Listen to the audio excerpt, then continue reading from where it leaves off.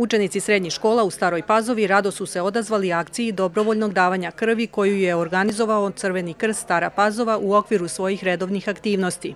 Čim sam napunio 18 godina, ovaj, odlučio sam da pomognem jer to je meni ne predstavlja ništa mnogo, ali nekome zaista znači sve i odlučio sam da sad ovo mi drugi put da dajem i planiram da još dosta puta dajem krv. Prvi put dajem krv, čula sam pun, dosta apela da je ljudima potrebno i sada sam ja mogućnosti da pomognem kome to treba. Ništa nije strašno, preporučujem i svim mladim ljudima ako mogu da daju krv, da daju krv. E, osjećaj je lep i naravno posle ovog će se osjećati lepo i znamo da ćemo pomoći drugim ljudima kojima će naravno trebati. Po planu Crvenog krsta dva puta godišnje se organizuje ovakva akcija za sve tri srednje škole, gimnaziju Branko Radičević, ekonomsko-trgovinsku školu Vuk Karadžić i tehničku školu.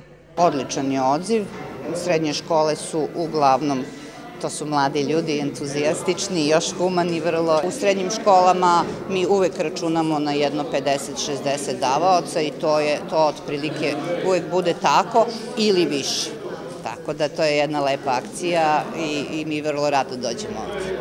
Sledeća akcija Crvenog krsta za sve građane biće organizovana 18. marta u Novoj Pazovi, najverovatnije u osnovnoj školi Rasko Nemanjić Sveti Sava od 8 do 13 časova, najavila je Jasna Petrović-Živković, stručni saradnik Crvenog krsta Stara Pazova.